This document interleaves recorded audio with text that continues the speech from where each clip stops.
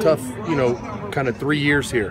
Battled injuries, trying to fight through them, trying to get healthy, and so after the year, he, you know, he had to really see if his, he could get his body healthy and get it to where it is today, and he did. So, so we're excited to see him a healthy Johnnie Dixon. You know, So what, what does it look like? What does a healthy Johnnie Dixon look like? Well, we'll find out. I mean, he's healthy right now, but he's still developing. Like I said, he's he's, he's played, but for three years, he really has been kind of not practicing. Here and there, he'd have a practice, he'd go, he'd he'd have a good practice. So so right now, we're trying to get him developed. So he's kind of like, even though he's an older player, would you say that he's still kind of an immature player in terms of his development? yeah, I mean, maybe immature is not the right at the word. same time, he's been mentally developed for three years, so he understands football. He understands the position. He understands the offense. So he's ahead of where a, a young kid would be. But physically, the grind of going through 15 spring practices and being able to push through it and get better—that's what he's not struggling with. But that's what he's dealing with and having to But push if things through. go well, do you think he could be a contributor? Absolutely. Paris